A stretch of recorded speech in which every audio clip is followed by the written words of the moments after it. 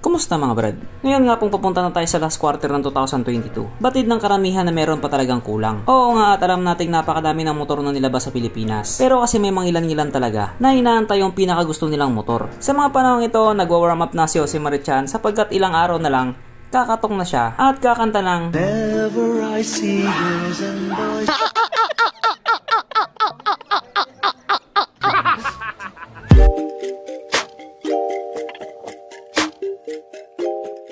Pero syempre bago tayo magpatuloy, kung bago ka pa lamang napadpa dito sa aking walang kwentang channel, huwag ka na mag-subscribe.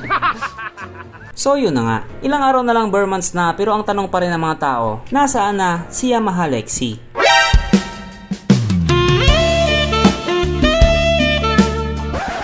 Nakakalungkot lang sabihin, hindi yan yung Lexi yung pinag-uusapan natin. Oh man! Kung ako nga tatanungin nyo, mas gusto ko yun na lang pag-usapan natin eh. Kaso lang, motor yung content natin eh. Sayang. Hanggang ngayon marami pa rin talagang umaasa na bago magtapos ang 2022, makarating na si Yamaha Lexi dito sa Pilipinas. Sabagat hindi lang naman po isa, dalawa or tatlong mga tao ang naghihintay sa motor na ito. Napakadami po nila. Siguro mga apat. Pero ang totoo niyan mga brad, meron naman na talagang Yamaha Lexi dito sa Pilipinas. Kaso lang, yun po ay in-import nila. Galing din sa ibang bansa. Ang ibig sabihin po noon, direkta po nilang in-order sa ibang bansa. Pero syempre yung mga taong gumawa noon, panigurado maraming pera. Alam naman natin na kapag importation ang pinag-uusapan, tos gas talaga yan. Kung gusto mo magparating ng unit dito sa Pilipinas, make sure na marami ka talagang pera para masaya. So bakit nga ba maraming tao ang gustong-gustong magkaroon ng Yamaha Lexi? Samantalang napakadami namang 125cc na available dito sa Pilipinas. Ganito kasi yun mga brad. Sabi nila, wala daw kayong pake. Which is tama nga naman. Wala naman talaga kayong pake. Trip nila yun eh. Walang basagan ng trip. Pero sa tingin ko kaya marami ang nagkakagusto sa motor na ito. Sapagkat yung specs nga po niya, talagang pangmalakasan. At syempre yung looks din naman niya, talagang matindi. Ang tagline nga nila sa motor na ito, Smart is the new sexy. O, di ba? Ganon katindi si Yamaha. Smart and sexy.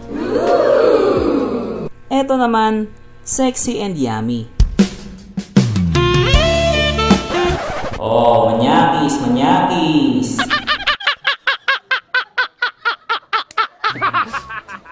At syempre, bago pa mapunta kung saan ang usapan, eh pag-usapan na lamang natin kung ano nga bang meron sa motor na ito at kung gaano nga ba siya kaganda. So ito nga po ang Yamaha Lexi 125 na mayroong 124.7 cubic centimeter engine displacement, 4-stroke single cylinder, single overhead cam with 4 bulbs. Fuel injected at ito po ay naka-liquid cooled. Powered by blower technology nang ibig nga pong sabihin malakas na makina at the same time tipid sa gasolina. Meron din po itong VVA or variable valve actuation. Ang kanyang compression ratio 11.2 is to 1. Pagdating naman po sa kanyang power, ito po ay mayroong 11.7 horsepower at 8,000 RPM, 11.3 Nm of torque at 7,000 RPM. At base nga po sa mga taong nakagamit sa motor na ito, ito daw po ay kayang tumakbo sa bilis ng 110 km per hour.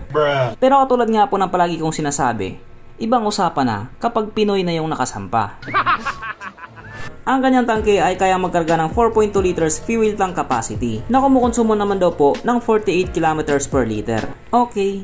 Ang sukat ng kanyang gulong 90 by 90 by 14 sa harap at 100 by 90 by 14 naman sa likuran. Pagdating naman po sa kanyang braking system, disc brake sa harap at drum brake pa din po sa likuran. At sa harapang bahagi nga po, meron na po itong ABS or anti-lock braking system.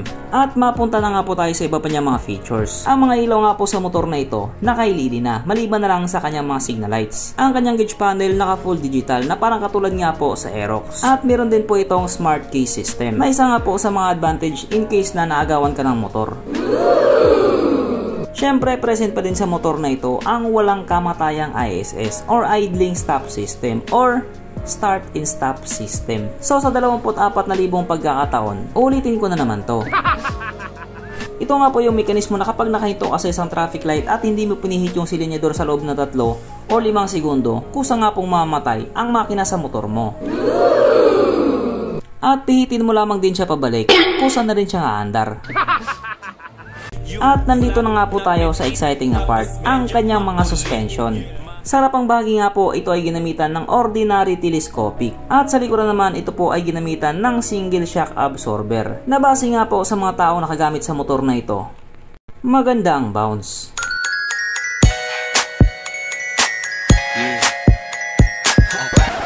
Panigurado, wala na namang nalungkot. At dahil wala ngang nalungkot, aalamin na po natin kung present nga ba sa motor na ito yung tatlong pinaka-importanting features. Una na nga po dito ang kanyang lagayan ng istalyon at good news mga brad. Meron siyang ganun. Meron siyang lagayan ng istalyon. Pangalawa, meron din po siyang sabitan ng undox. O ba? Doon pa lang panalo ka na. At oras na nga po para sa ating Red Horse check ang pinaka-importanting feature sa isang motor. At ayon nga po sa aking masusing pag-aanalisa, ang motor na ito ay kayang magkarga ng dalawang kahong Red Horse.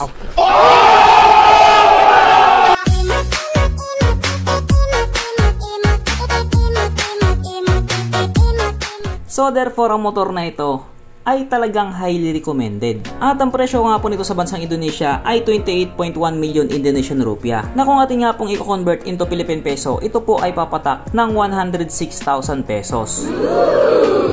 At inaasahan nga din po na baka bago magtapos ang taon na ito ay ilabas na rin nila yung latest model ng Yamaha Lexi. At regarding naman doon sa tanong na kung ilalabas ba ang Yamaha Lexi 125 dito sa Pilipinas, oo naman. Pero pwede ring hindi. O, ba? Safe yung sagot ko. So hanggang dito na lang muna mga brad kung may gusto kong sabihin or gustong idagdag doon sa mga sinabi ko, mag-comment ka na lamang sa ibaba. At syempre, katulad ng dati, hindi magtatapos ang video na ito na hindi sumisigaw ang nag-iisang hari ng shoutout at alam niyo na kung sino yon.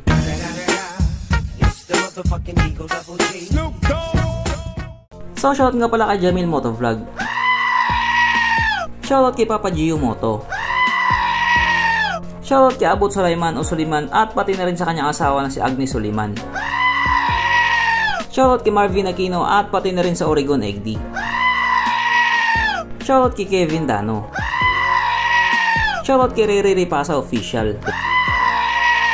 Shoutout kay Fireblade. Shoutout kay Goku. Shoutout kay Noel Encenas. Shoutout kay Bob.